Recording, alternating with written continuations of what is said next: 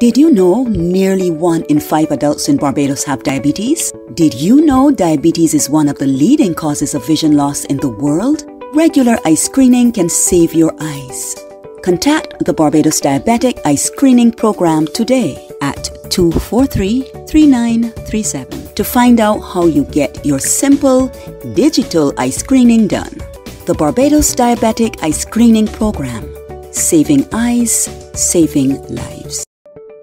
It's the first Saturday of September, and you should remember that every Saturday morning at 9 o'clock, like right now, on VOB 92.9 FM, you get 15 certified sugar free minutes with the compliments of the Barbados Diabetic Eye Screening Program in partnership with the Barbados Community Foundation and the Maria Holder Diabetes Center. Morning, Larry, and good morning to all the lovely people who are tuned in, who are about to hear 15 minutes that highlights the services of the Maria Holder Diabetes Center located in Warrens St. Michael, which features a range of medical services for people who are diabetic, and also for people who are pre diabetic, where the center can reverse that process. So, whatever stage of diabetic you are, the Maria Holder Diabetes Center is where you should be headed. By the way, you get your eyes checked for diabetic retinopathy yet? Duh! What are you waiting for? The screenings at Sky Mall are over and a new outreach location will be announced soon. But you can call and make that appointment to have it done at the Maria Holder Center by calling 243 Eyes. Write it down 243 3937. So let me see what's on the agenda today. Podiatrist Tony Pickering. You remember Tony, right? Podiatrist Tony will be giving you some advice on how you can take care of your feet while you are at home. So if you're a diabetic, you could be at home right now listening to VOB and doing things to keep your feet healthy. So you are going to want to hear those tips. But first, we are going to Nurse Tracy because we've not heard Nurse Tracy for some time now. We asked diabetes specialist Nurse Tracy Braffett what are the warning signs that you look for when you are doing a checkup on a diabetic patient, and this is what she said. The one thing that I do on a daily basis with my job is looking at people's blood sugar levels. So the aim is to actually get to your get your blood sugars to be as normal as possible within the normal range, and that might be just with diet and exercise or tablets or a, and insulin or just insulin. So the things that you would, you know, always be looking out for is to ensure that your blood sugars stay as stable as possible. Other things that I teach on a daily basis, I talk about um, checking their feet because with diabetes you can get a little bit of damage to the nerve endings, which can cause numbness and loss of sensation. So we always want people to check their feet to make sure that they haven't got any callus, which can develop into ulcers, or if they don't have any sensation, you know, if they even step on a tiny little stone, they might not be aware of it, um, and obviously that develop into some form of uh, sore or ulcer. And once you have something like that, it takes a very long time to heal, and you are at risk of it coming back. So it's things like that, you know, sugar levels, checking your feet, mm, and also the other thing is is the dentist as well, because uh, a lot of people are not aware that relating to diabetes that it can affect your mouth and teeth as well. So you know, having regular checks at the dentist as well to ensure that you haven't got any issues. Thank you, Nurse Tracy. Did you hear how Nurse Tracy talked about that thorough checkup that you can get when you go to the Maria Holder Diabetes Center? And when you go there, that's where you can also find podiatrist Tony Pickering, who can perform a range of services, especially for your feet. And you know when you're diabetic, your feet are very important. So right now we are going to go to podiatrist Tony to give some advice on things that you can do. You that are home listening right now, these are things you can do to keep your feet healthy. Well, one of the main things I would say is just make sure that you just generally take good care of the feet. And when I say that, I actually mean like general care, clean your feet properly. I, I see all kinds of striations and striations like taken from between people's toes. Um, just make sure that when you wash your feet, clean between your toes properly. Make sure that you dry between your toes properly.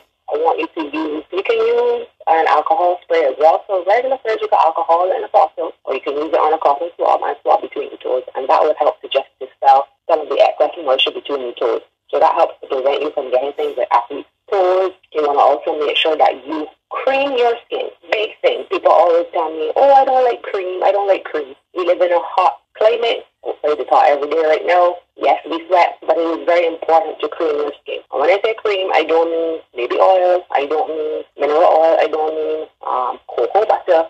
Yes, those are fine for the purpose that I'm going to explain now, but you need to actually utilize a cream, a moisturizing cream. And when I mean cream, I mean something that has a content with oil and water. You can tell the thickness of a cream as opposed to the thickness of a lotion.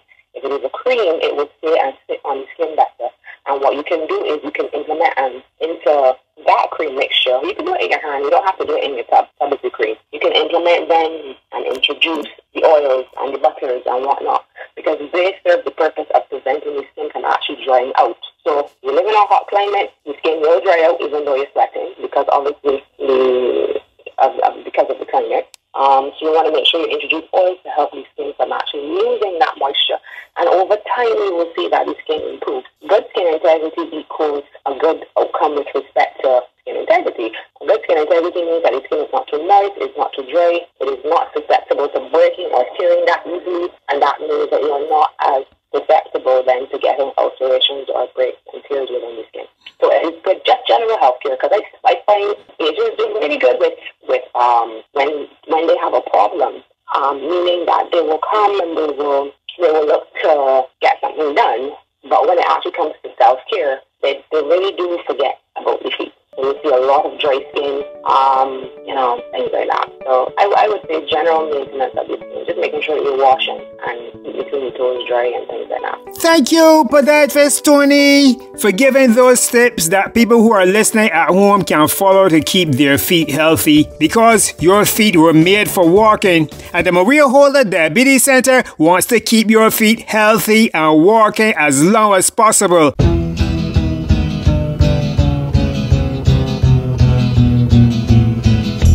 And that's our cue to walk right into our song of the day. And for this one, we take you all the way back to 1966 from an album entitled Boots.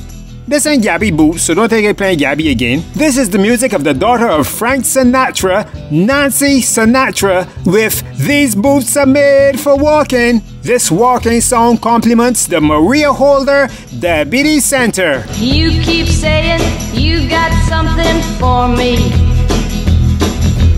Something you call love, but confess. You've been a messin' where you shouldn't have been a messin'. And now someone else is getting all your best. These boots are made for walking, and that's just what they'll do. One of these days, these boots are gonna walk all over you. Contact the Barbados Diabetic Eye Screening Program today at 243 Eyes 243 3937 to find out how you get your simple digital eye screening done. The Barbados Diabetic Eye Screening Program. And you keep losing when you ought to not bet. You keep saying you ought to be a changing. Now what's right is right, but you ain't been right yet.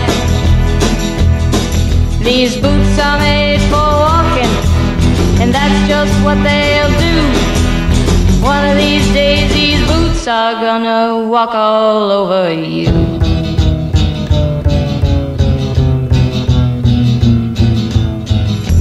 the Barbados Diabetic Eye Screening Program.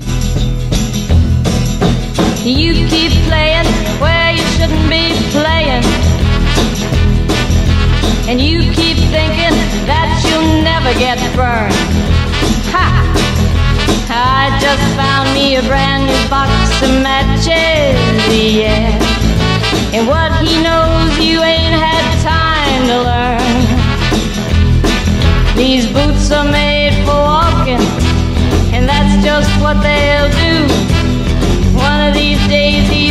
boots are gonna walk all over you.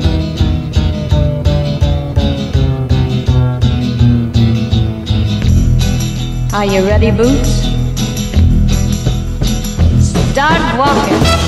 Yeah! Nancy Sinatra, you keep on walking, girl. Nothing beats a good old fashioned oldie goldie song. And you're hearing it right here on the Maria Holder Diabetes Radio Show. So let's see what you heard so far. First, we talked about eyes. Then you heard from Nurse Tracy on general checkups. And then you heard from podiatrist Tony on feet. So while we on feet, let's talk about vascular issues. Because you know, one of the characteristics of vascular issues is when your feet swell up. Today, we're going to hear more on that from Dr. Diane Brathwaite. Hi, good morning. My name is Dr. Diane Brathwaite from the Maria Holder Diabetes Center for the Caribbean, and I'm here to tell you a little bit about our vascular screening program effort that we'll start rolling out for the general public. So, what is this program about exactly? I'm sure you've heard us talking about peripheral arterial disease and PAD in recent weeks. So, the program basically involves uh, using a test to screen arteries to see if there's uh, disease, significant disease or narrowing in the arteries that go down into the legs. So I want to just remind you of a few things. So first of all, people always say I have poor circulation. Poor circulation is a very, very general term. There are actually three different types of circulations that exist in the lower limb, for example. You have the artery circulation, you have the vein circulation, and you have the lymphatics. So the arteries, they take blood with oxygen and nutrients down to the, the limbs, and you can, the muscles then kind of use those things for energy, etc. The veins take the blood away from the organ back to the heart and the lung system where it can pick up more oxygen, etc. And then you have the lymphatics, and the lymphatics actually help just drain fluids throughout the system, basically. So that's a simple way kind of thinking about it. Okay. Remember, I said I'm just giving you a summary. We're going to go into a lot more detail over the coming weeks, just as we put a lot of effort into educating you on eyes and other topics related to diabetes. So, going back to PAD, peripheral arterial disease, we call it peripheral arterial disease because, well, it's affecting something called the peripheries, meaning the part that's further away from the center of your body. That's called the periphery. And then the artery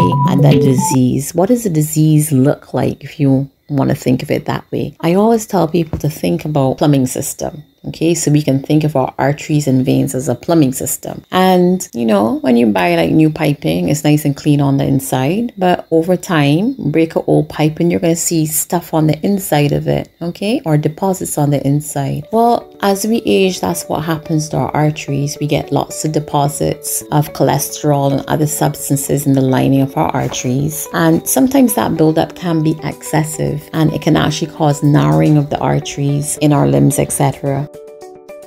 We now go to a lady who has experienced the Barbados eye screening program. Well, I found the service is very good, and I would advise anyone who is a diabetic give it a try because it definitely do work. Once you follow the plan and you follow your what you're supposed to do, yes, it can improve your eyesight, and yes, it do work. It can work for you. It was very extremely helpful because, as I said, when they first went into the plan, yes, you saw your doctor, but they didn't only just stop there on concentrating on the eyes. I had a nutritionist that taught me the right way to eat, a physical therapist. I also was taught, um, as I said, the right way to eat, the portions that you do put on your plate is very important. And there was a chart that was given for me to follow. They didn't tell me. They also gave me documentation. I had pamphlet, everything that I cannot follow, so I wouldn't get off track or go astray and do my own thing. The Maria Holder Diabetes Center, with their diabetic eye screening program, offers a standard of service that equals or surpasses any you might receive internationally. And very very soon, there will be a dedicated vascular department added that will be the centerpiece of a new national preventative campaign that will highlight the discovery of early circulatory problems in the limbs and extremities of at risk persons. So, if you are diabetic and listening to your radio right now, you need to make an appointment and get your eyes screened. You can reach them by calling 417-0305 or 243-3937 to make that appointment. The last 15 minutes you heard on your radio was brought to you with the compliments of the Barbados Diabetic Eye Screening Program in partnership with the Barbados Community Foundation and the Maria Holder Diabetes Center. Until next time, take care of your eyes. Did you know nearly one in five adults in Barbados have diabetes? Did you know diabetes is one of the leading causes of vision loss in the world? Regular eye screening can save your eyes. Contact the Barbados Diabetic Eye Screening Program today at 243 3937 to find out how you get your simple digital eye screening done. The Barbados Diabetic Eye Screening Program. Saving eyes, saving lives.